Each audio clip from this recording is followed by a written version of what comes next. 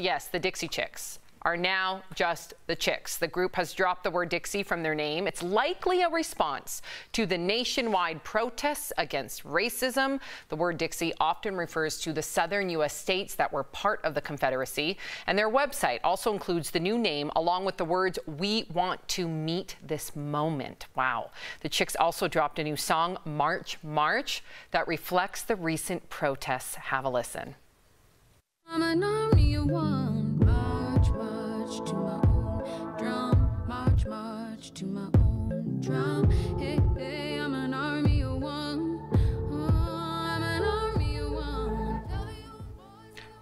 Powerful. Um, Erica, you know, we talked about this earlier in regard to the Dixie Chicks are no stranger, now the Chicks. The Chicks are no stranger to protest and to speaking out, even risking uh, their fan base. What do you make of this? You know, this is a, it's really powerful. Um, you know, people when we think of change, someone's always looking to someone else to do it. And there's a saying, be the change you want to see in the world.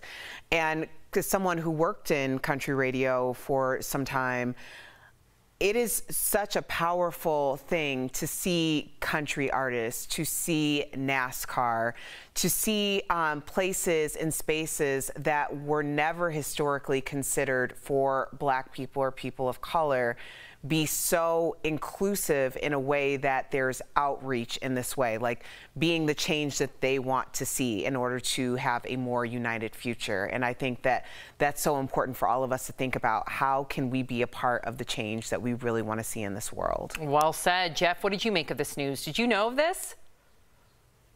No, I didn't know of this until right now. Listen, I look at it like this, Sam. I, I love the way Erica explained that because I guess it's called white privilege. I don't even know what to say, what it is anymore, but it's the same thing I've learned through the LGBTQ process is like what's right, what's wrong, what's appropriate, how do I go about this? In the beginning, you're kind of nervous to say this and then ask questions, why shouldn't I say this? And it kind of feels the same way. The movement feels the same way how does it, why is this, why is Dixie Chicks like this? I understand the frustration. I understand to educate yourself. But listen, I'm a question guy. I'm a curious guy. I'm a conversational guy. That's how I learn. And I understand the education co concept part of it. But I, I love the way Erica put it. And I like that America's eyes are opening up to a lot of these things now. So I'm looking at it all in a positive way.